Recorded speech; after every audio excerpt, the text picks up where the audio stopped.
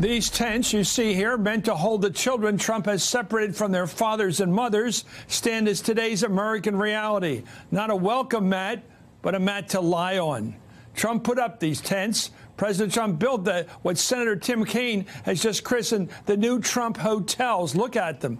Just as one president is permanently known for Hoovervilles, look at those shacks, the shack cities for victims of the Great Depression. This president is today the proprietary, the proprietor of the new Trumpville, packed with the kids we've torn from their parents. Good evening. I'm Chris Matthews down in Washington. President Trump and his administration have been overwhelmed by the growing public outcry over the new tent cities and the zero tolerance policy behind them. The president just left the Capitol tonight after meeting with Congressional House Republicans to try and figure out some way out of this crisis that he has manufactured. The Atlantic has reported that on the issue of family separations, the president said, quote, this is a dangerous issue. The images are bad for us. Well, the reporter added that the conference on immigration policy included very little talk of actual immigration. Unable to stem the tide of criticism, many of Trump's aides have now embarked on an aggressive PR campaign to blame the Congress.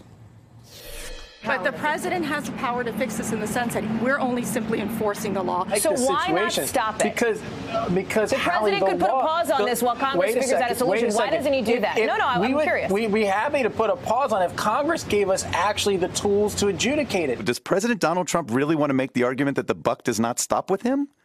Well, no, the buck stops with the people who make the laws in this country. Well, the president seems defiant and unrepentant amid the overwhelming backlash. Punch back earlier today. Deviating from prepared remarks, the president delivered a campaign style speech. People that come in violate the law, they endanger their children in the process. And frankly, they endanger all of our children. When you prosecute the parents for coming in illegally, which should happen, you have to take the children away. According to the Washington Post now, the president sees immigration as a winning issue for him politically, a winning issue, complaining repeatedly in recent months that he looks weak on border enforcement and has been concerned that his base could turn on him for not being tougher. West Wing sources now tell Axios that President Trump, quote, has shown little indication that he'll climb down from the zero tolerance border policy. Well, the conservative editorial board of the Wall Street Journal warned, however, that this type of self destructive politics has been a study in confusion. It adds that if Mr. Trump wants to lose the House and risk impeachment, he'll take Mr. Bannon's bad advice and keep giving Democrats a daily picture of children stripped from their parents. For more, I'm joined by Joy Ainsley, national security and justice reporter for NBC News, and Jonathan Swan, national political reporter for Axios. Jonathan, you're sitting right here, and I want to ask you is the president going to switch? Or is he going to fight? Is he going to keep up this fight or climb down from that wall? That's the question I've been asking West Wing officials all week. Um, I have got no evidence that he is ready to flip this policy, to make a unilateral unilateral action to flip this policy. But he's definitely feeling the pressure. He's definitely feeling the pressure. And that House conference meeting that he just attended, you know, that uh, Elaina Plott from the Atlantic reported on, he made clear in that meeting that the images are bad and that this is a bad issue and it needs to be fixed. The real question is is he going to do it unilaterally? Is he going to tell Jeff Sessions to flip the policy? That would be a major climb down. Yeah. Trump would see that as a huge loss of. I want to go. That, that kid in the red, though, I think is going to grab a lot of hearts in this country. I've been looking at pictures of him. There's another one. These young kids. Let me go to Julia in this. You know, it's a standing situation when the First Lady of the United States seems. That's the picture. Seems to be challenging the president. What, what, what gives? And, and, and Rosalynn Carter as well, and Laura Bush, and all these. I get this that they're speaking more for the country than Trump is, my hunch.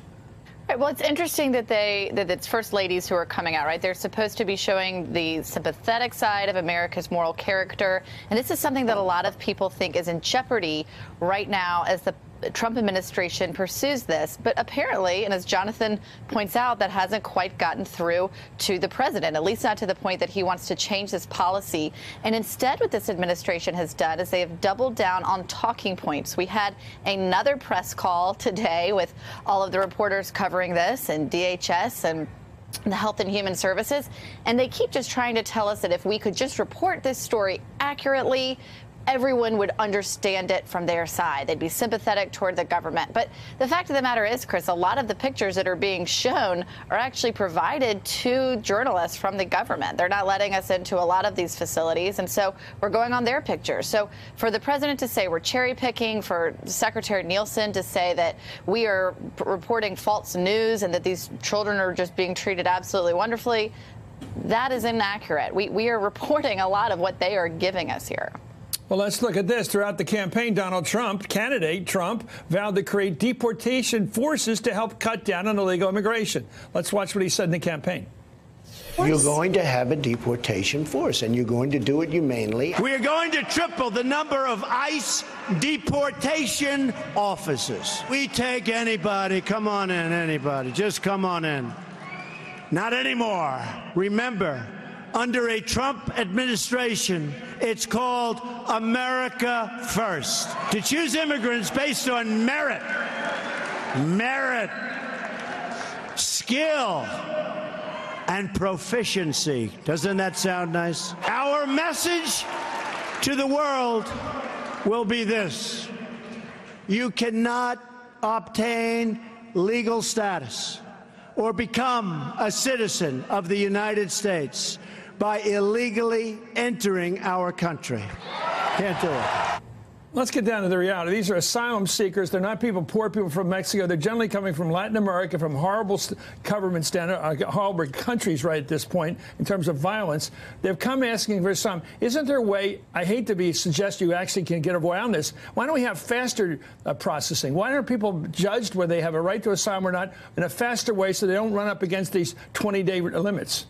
Well, there are proposals to try and remedy that. I don't know whether they would be effective or not. Obviously, there's also a question of resources, uh, yeah. issues like that. But this is, again, this is a very clear policy decision to enforce the law for every single person who comes across the border illegally, which is itself uh, sucks up a whole lot of resources, and again is itself very clearly an administrative decision, despite what the administration. Julia, when they come across, I think they can establish what country they're coming from, and if they come from one of the Latin American, Central American countries, which have had these horrible situations and violent situations down there, uh, they, they should be in a different category than just the person just getting across the border from Mexico who's poor and wants a better life here. They are in that particular category of asylum seekers.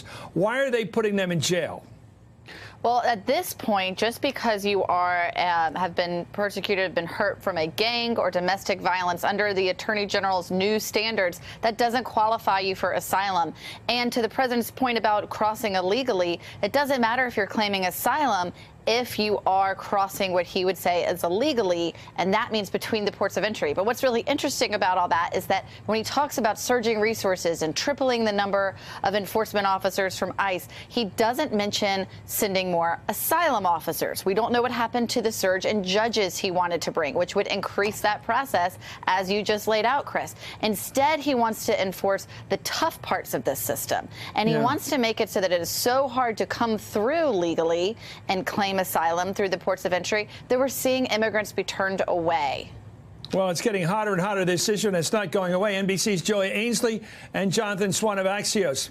Hey there, I'm Chris Hayes from MSNBC. Thanks for watching MSNBC on YouTube. If you want to keep up to date with the videos we're putting out, you can click subscribe just below me or click over on this list to see lots of other great videos.